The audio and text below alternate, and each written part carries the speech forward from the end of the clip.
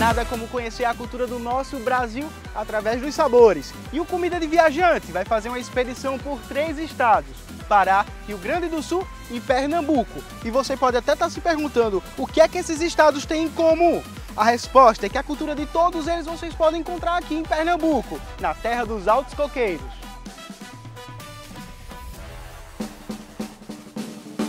Chegamos em Olinda. A cidade é patrimônio cultural da humanidade pela Unesco e não é à toa. Se destaca pelo carnaval de rua, pelos bonecos gigantes que são ícones, além da arquitetura que é belíssima nos centros históricos e das paisagens que são de tirar o fôlego. Mas calma, que fôlego a gente precisa ter, até porque Olinda é cheia de ladeiras, as famosas ladeiras de Olinda, que guardam lugares incríveis e uma gastronomia que a gente precisa conhecer. Agora eu gostaria que vocês viessem aqui comigo porque nesse lugar ninguém nem imagina que é possível viver uma experiência massa de gastronomia e de ambiente. Mas essa casa aqui tem nome, é a Oficina do Sabor.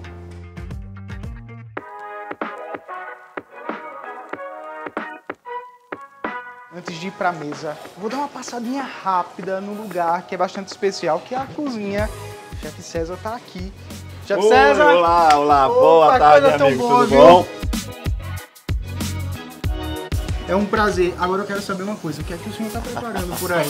Olha, aqui a gente está preparando o mar de lia, que é o prata boa lembrança, e uma cartola bem saborosa, que é um doce típico, uma sobremesa típica pernambucana. Tudo que foi preparado aqui, eu tenho certeza que foi com muito carinho e dedicação. E eu sei que tem um toque especial, mas isso aí a gente vai deixar para mostrar quando chegar na mesa. Tá bem. Vamos embora, vamos embora. Vamos, vamos ver se essa comida realmente tá gostosa, né? 30 anos, né? Então, eu Só acho... como spoiler, eu sei que bonita tá.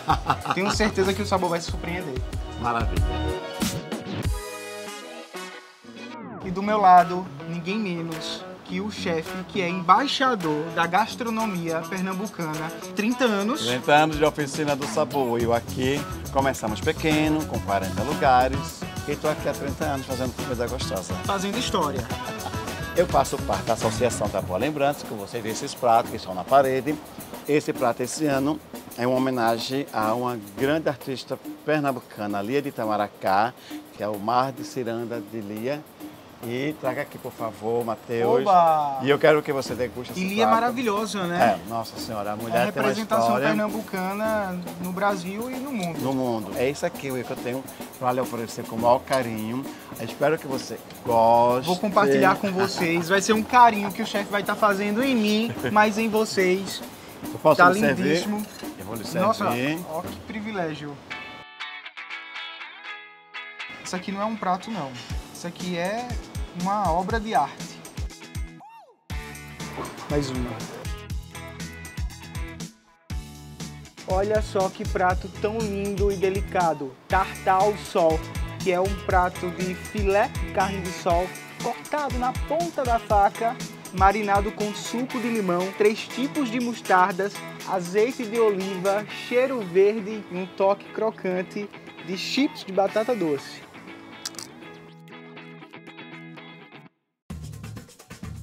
E para finalizar, a nossa cartola, esse prato apresentável que agrada não somente o paladar de quem é pernambucano, que esse prato é bastante tradicional aqui em Pernambuco, mas também até quem é gringo. E se destaca porque a cartola, o engenho maçangana, tem um sabor irresistível, inigualável. Tem a nossa banana frita gratinada com queijo de manteiga, mel de engenho e polvilhada com açúcar e pó de canela.